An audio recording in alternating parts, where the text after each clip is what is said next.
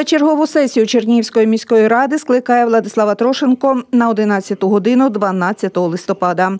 У порядку денному одне питання про звернення Чернігівської міської ради до президента України Володимира Зеленського, голови Верховної Ради Дмитра Разумкова, прем'єр-міністра Олексія Гончарука щодо недопущення погіршення фінансового забезпечення потреб територіальної громади міста Чернігова.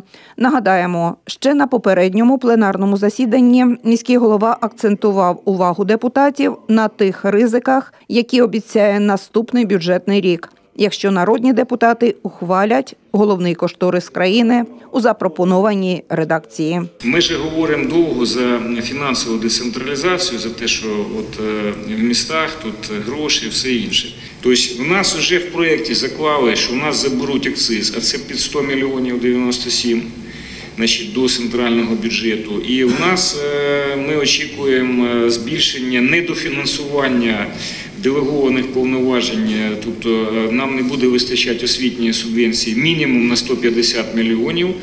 Е, І ще ми не рахували е, медичну субвенцію, це там приблизно, ну, на жаль, Лисенко відсутня, вона підсказала, це я можу помилитися, це ще 100 мільйонів.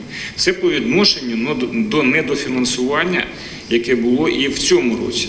Я просто реально прошу кожну політичну силу, зверніться до своїх депутатів, присутніх у Верховній Раді. І е, з простим розумінням, що міста це також частина країни.